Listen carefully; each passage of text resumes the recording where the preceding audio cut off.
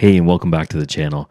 In this video, I'm going to show you how to download SmartGaga Android emulator on a Windows 10 PC. We're going to walk through the steps of downloading it, installing it, and checking out the features. So let's get started.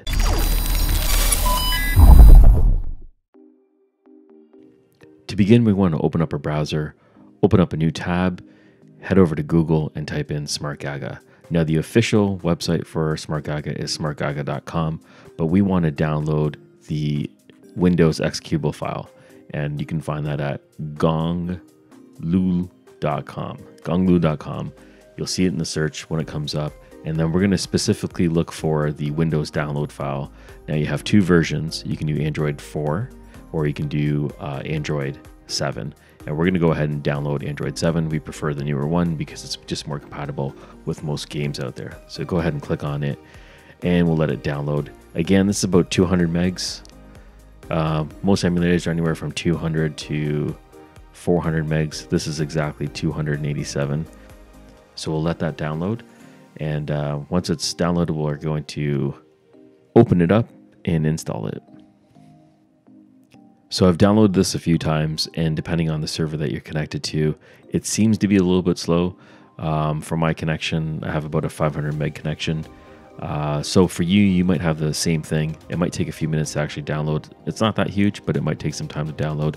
What I'm going to do is I'm just going to speed this up to the end, and then we'll start installing it. Okay, so the first thing we're going to do is we're going to open it up, and uh, you can see the little shield here, so it might require some extra skills.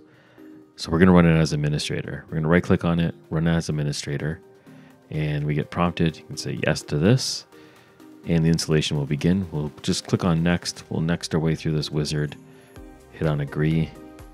All right, and now you can specify where you want to download it by clicking on browse. We're going to use a default folder. We'll just click on install, and it'll install fairly quickly here. And a quick reminder, if you enjoy the videos, please give us a like. Okay, so at the end, we have the box to check it and run it. So we're going to leave that box checked. You can see the shortcut on the desktop. And this, we're going to run it, so we're going to leave that checked. And it's just going to load up the necessary files while it tries to get this emulator up and running. We're getting a, request from our firewall to allow access. We can just click on allow access and let it go through. Obviously, it's going to need to connect to the internet.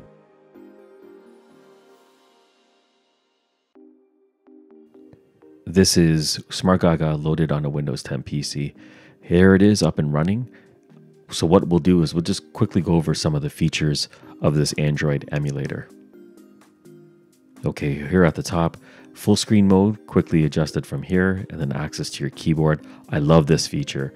Now, if you have an APK file that you want to quickly load, there's like this little icon here to quickly launch open up uh, whatever APK file you have, whether it's PUBG, Among Us, or any other popular game that you're trying to uh, install. You can just go over to your downloads folder, select the APK file, click on open, and then boom, it's going to get installed right into the emulator. Really nice feature. Volume up, volume down, screenshot um, shortcut here.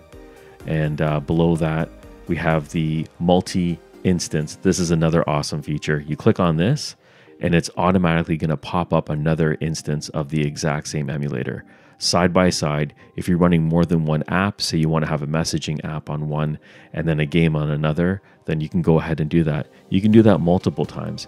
The only downfall for running multiple sessions is the CPU and RAM that it'll take up. So, depending on what you're trying to do, you may or may not want to do this. And then you have GPS settings, if you want to shake it, you can click on this button and it'll uh, send a vibration shake.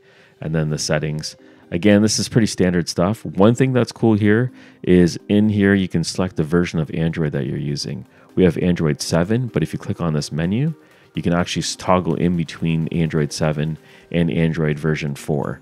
So you can go back and forth between the two versions. Uh, you can also set it auto, so depending on the game and the requirements, it'll automatically toggle back and forth advanced settings, you have resolution uh, changes that you can do, uh, CPU, RAM, and uh, other settings. Uh, for the game, you can change the render quality and resolution as well. And then when you have all this, you can just save your settings and then just exit out of all of this altogether.